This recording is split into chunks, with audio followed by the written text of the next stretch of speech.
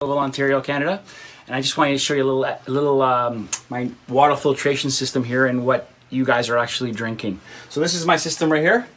See how it's set up? Pretty neat, pretty clean. This is what filters the water that comes into my home. So we just changed these two filters here, and what you'll see here is what the filters look like when we change them. So this is what you're drinking. Stouffville. This is what you're drinking. This is in Canada. So if you think you have clean water in Canada, you're sadly mistaken. So you need to put systems like this in place. You need to talk to your municipalities and your towns. This is the water that you're drinking.